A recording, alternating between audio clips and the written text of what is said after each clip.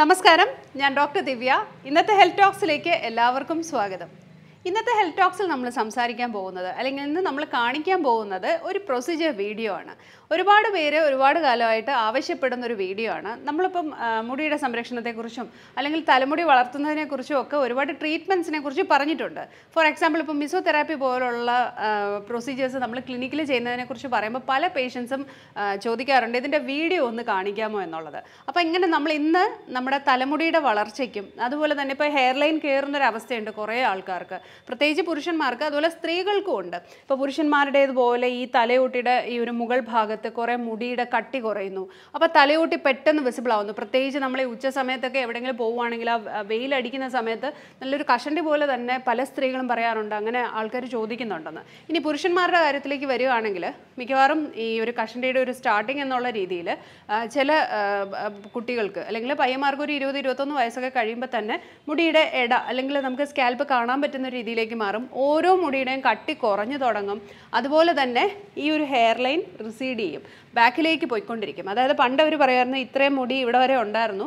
പെട്ടെന്ന് ഒരു വർഷം കൊണ്ട് അല്ലെങ്കിൽ ഇപ്പം മിക്കവാറും പുറത്തൊക്കെ ജോലി ചെയ്യുന്ന ആൾക്കാരായിരിക്കും ഒരു കാലഘട്ടത്തിന് ശേഷം പെട്ടെന്ന് മുടി അങ്ങ് പോയി അങ്ങനെ ആവുമ്പോൾ മുടി കയറി കയറി പോകുന്നു. പിന്നെ പറയുന്ന ഒരു പാറ്റേൺ എന്ന് പറയുന്നത് ബാക്ക് സൈഡിലാണ് നമ്മുടെ ഒരു ഓസപ്പിട്ട് എന്ന് പറയുന്ന ആ ഒരു ബാക്ക് സൈഡിൽ മുടി പോകുന്നു. ഈ ഒരു സൈഡിൽ മുടി ഇങ്ങനെ പോകുന്നു. പക്ഷെ ഫ്രണ്ടിൽ വലിയ കുഴപ്പം കാണത്തില്ല. അപ്പോൾ ഇങ്ങനെ വരുന്ന ഒരു മൂന്നാൽ കാറ്റഗറി ഓഫ് ഹെയർ ഫോളിന് വേണ്ടിയിട്ട് അല്ലെങ്കിൽ അതിന്റെ ഹെയർ റെസ്റ്റോറേഷന് വേണ്ടിയിട്ട് നമുക്ക് ചെയ്യാൻ പറ്റുന്ന കാര്യങ്ങളാണ് ഇന്ന് നമ്മൾ ഈ കാണിക്കുന്ന വീഡിയോയിലുള്ളത് ഇതൊരു പ്രൊസീജിയർ വീഡിയോ ആണ് ഇതിനകത്ത് ഉപയോഗിച്ചിരിക്കുന്ന ഒരു ടെക്നിക്ക് എന്ന് പറയുന്നത് മിസോതെറാപ്പിയാണ് മിസോതെറാപ്പി എന്ന് പറയുമ്പോൾ നമ്മൾ ഈ ഒരു മൈക്രോ നീഡ്ലിംഗ് എന്ന് പറഞ്ഞ technique with derma roller derma റോളറിനെ കുറിച്ച് നിങ്ങൾ എല്ലാവരും കേട്ടിട്ടുണ്ടാവും.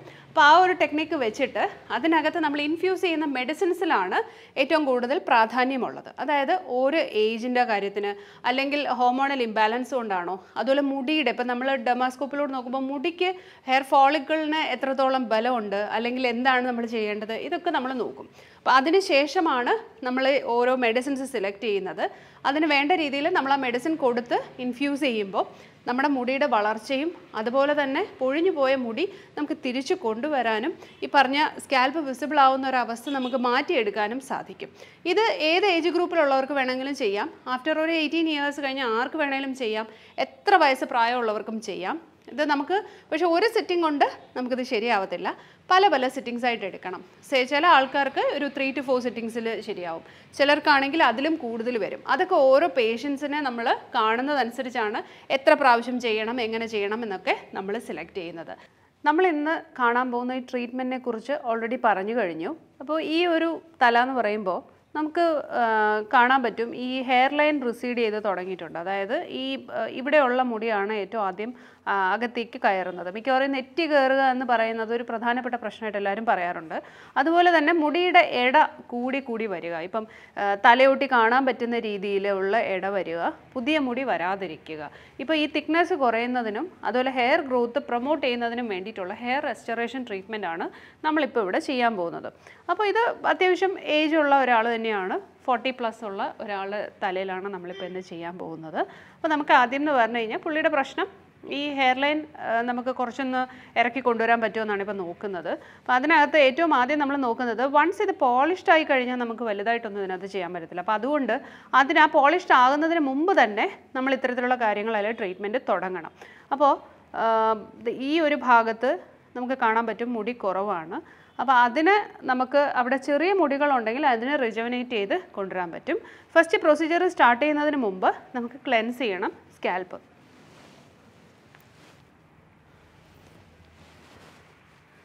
സ്കാൽപ്പിൽ നമ്മൾ എവിടേക്കാണോ ട്രീറ്റ്മെന്റ് ചെയ്യേണ്ടത്? മിക്കവാറും ഈ ക്രൗൺ ഏരിയയിലാണ് മിക്കവാറും ആൾക്കാർക്ക് മുടി പോയിട്ടുള്ളത്. പിന്നെ അതുപോലെ തന്നെ ബാക്കിലും പോയിട്ടുണ്ടാകും അപ്പോൾ ഇപ്പം നമ്മൾ കോൺസെൻട്രേറ്റ് ചെയ്യുന്നത് ഈ ഒരു ഏരിയയിലാണ് ഫ്രോണ്ടൽ ഏരിയയിൽ മിക്കവാറും ആൾക്കാർക്ക് മുടി കുറവായിരിക്കും. അപ്പം അവിടെ നമ്മൾ നന്നായിട്ട് ക്ലെൻസ് ചെയ്യുക ഫസ്റ്റ്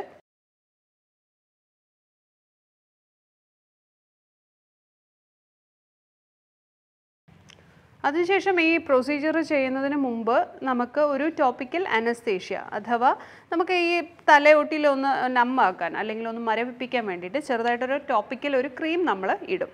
അതൊരു ടോപ്പിക്കൽ അനസ്തേഷ്യ ആണ്.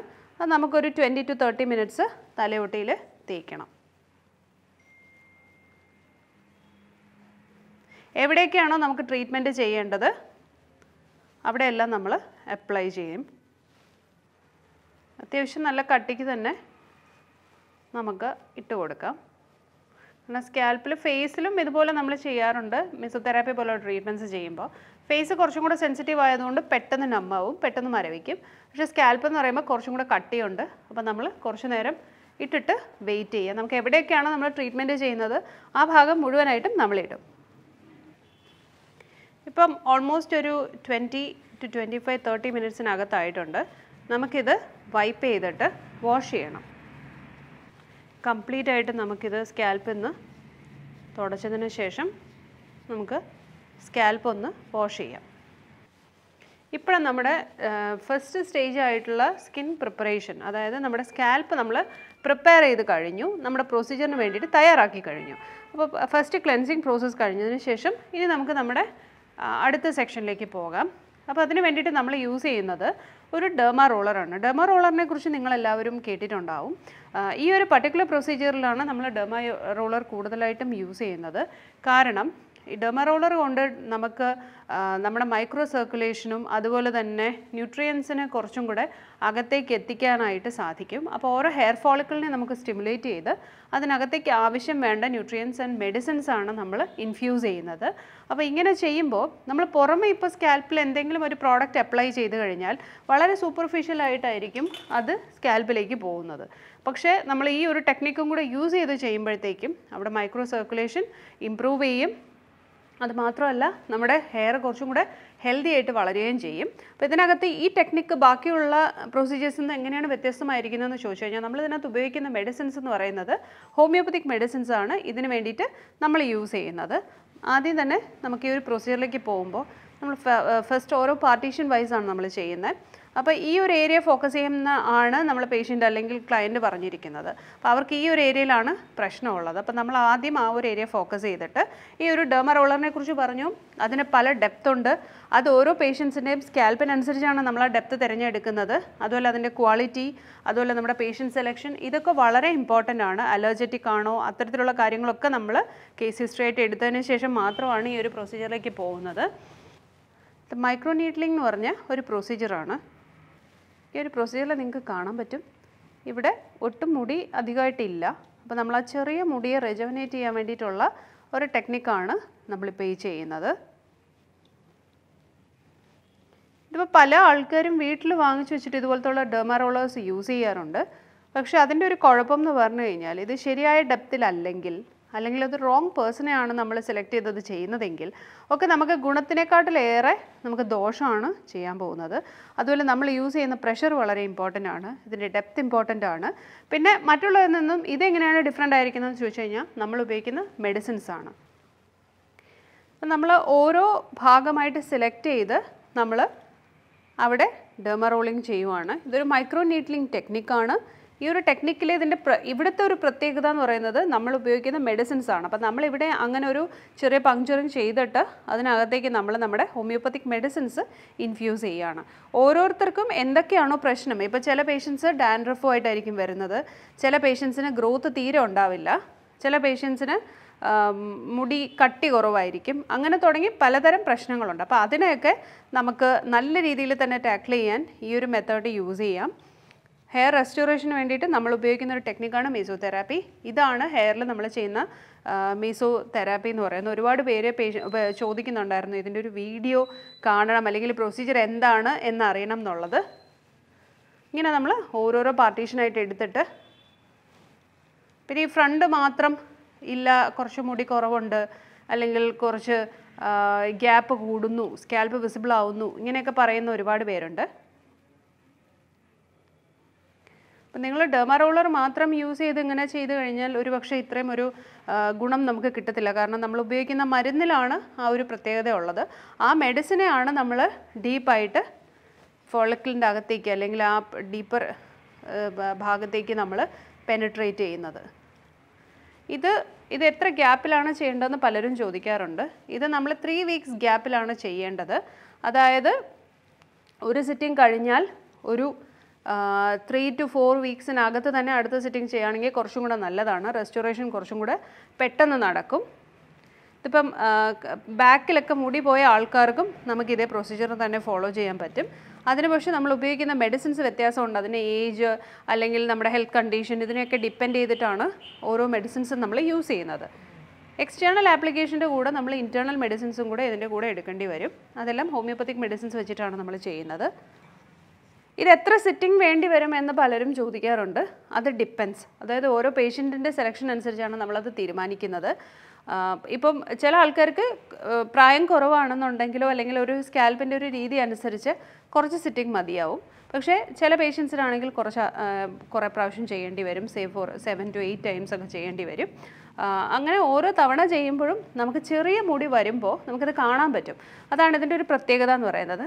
കുറച്ചായി ബേബി ഹെയർ വരുമ്പോൾ നമുക്ക് ഈ ഒരു സ്കാൽപ്പിൽ നല്ല തെളിഞ്ഞ് കാണുന്ന സ്കാൽപ്പ് കുറച്ചൊരു കറുത്ത കളറിലേക്ക് മാറും.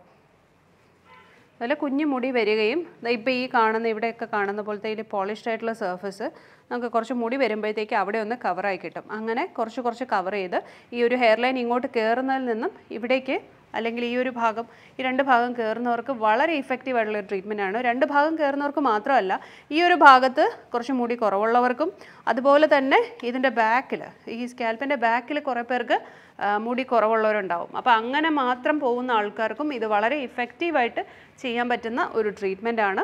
അപ്പോൾ ഇപ്പോൾ നമ്മൾ കണ്ടതാണ് മിസോതെറാപ്പി വിത്ത് ഹോമിയോപ്പത്തിക് മെഡിസിൻസ് എന്ന് പറയുന്ന ഈ ഒരു പ്രൊസീജിയർ ഇതിപ്പോൾ ഡെമ റോളർ നേരത്തെ നിങ്ങൾ കണ്ടിട്ടുണ്ട്. ഡെമ റോളറിന്റെ ഉള്ള എത്ര ഡെപ്തിൽ പോകണം അല്ലെങ്കിൽ ഓരോ പേഷ്യൻസിനും എങ്ങനെയാണ് നമ്മൾ സെലക്ട് ചെയ്യേണ്ടത് ഓരോ ഏരിയയിലും എത്ര എങ്ങനെയൊക്കെ നമ്മൾ ചെയ്യണം എത്ര സിറ്റിംഗ് വേണം എന്നൊക്കെ ഉള്ളത് ഓരോ പേഷ്യന്റ് ടു പേഷ്യന്റ് അത് വേരി ചെയ്ത് വരും. പിന്നെ എല്ലാവരും ചോദിക്കാറുണ്ട് എത്ര തവണ ചെയ്യണം എന്നുള്ളത്? നമ്മുടെ ഏജ് അല്ലെങ്കിൽ ഹോർമോൺ ഇംബാലൻസ് പിന്നെ എത്രത്തോളം നമുക്ക് മുടി പോയിട്ടുണ്ട് ഇതിനെയൊക്കെ ഡിപ്പെൻഡ് ചെയ്തിട്ടാണ് എത്ര സിറ്റിംഗ് നമ്മൾ തീരുമാനിക്കുന്നത്. പക്ഷേ നമുക്കൊരു ത്രീ ടു ഫോർ സിറ്റിങ്ങിൽ തന്നെ വിസിബിൾ ആയിട്ടുള്ള ഒരു മാറ്റം നമുക്ക് കാണാൻ പറ്റും. പിന്നെ എല്ലാവരും ചോദിക്കുക ഏത് ഏജ് ഗ്രൂപ്പിലുള്ളവർക്ക് ഇത് ചെയ്യാൻ പറ്റുന്നതെന്ന്? ആഫ്റ്റർ എയ്റ്റീൻ ഇയേഴ്സ് നമുക്ക് എത്ര ഏജ് വരെ ഉള്ളവർക്കും ചെയ്യാം. മറ്റ് മെഡിക്കൽ കണ്ടീഷൻസ് ഇപ്പം വളരെ തീവ്രമായ മെഡിക്കൽ കണ്ടീഷൻസ് ഒന്നും ഇല്ലാത്ത ആൾക്കാർക്കാണെങ്കിൽ നമുക്ക് തീർച്ചയായിട്ടും ഇത് എത്ര ഏജ് വരെ വേണമെങ്കിലും ചെയ്യാൻ പറ്റുന്നൊരു കാര്യമാണ്. സ്ത്രീകൾക്കും പുരുഷന്മാർക്കും ഒരുപോലെ ചെയ്യാൻ പറ്റും. പിന്നെ നമ്മളിപ്പം പ്രധാനമായിട്ട് ആൾക്കാർ ചോദിക്കുന്നത് പറഞ്ഞപ്പോൾ എൻ ആർ ഐസ് ഇപ്പം ഒരു ഒന്നര മാസം രണ്ട് മാസം ലീവിനൊക്കെ വരുമ്പോൾ ഒരു രണ്ട് മൂന്ന് തവണ ചെയ്ത് അതിനുശേഷം പിന്നെ തിരിച്ചു വരുമ്പോൾ വീണ്ടും ലീവൊക്കെ കഴിഞ്ഞ് നമ്മൾ പോയി തിരിച്ചു വരുമ്പോൾ വീണ്ടും നമുക്ക് ഈ ഒരു പ്രൊസീജിയർ റീസ്റ്റാർട്ട് ചെയ്യാം. അങ്ങനെ ചെയ്ത് നിർത്തി എന്ന് പറഞ്ഞിട്ട് വേറെ കുഴപ്പങ്ങളൊന്നും ഉണ്ടാവത്തില്ല. ഇതിന് വേറെ സൈഡ് എഫക്ട്സ് ഒന്നുമില്ല. നിങ്ങൾ ആ പ്രൊസീജിയറിൽ കണ്ടതുപോലെ തന്നെ നമ്മൾ മെഡിസിൻസ് ആണ് യൂസ് ചെയ്യുന്നത്.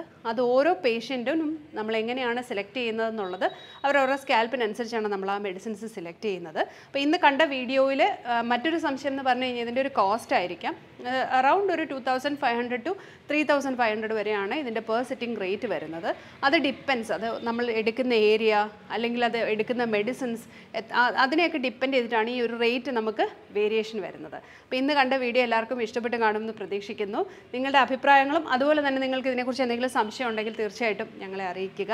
Thank you so much and keep watching.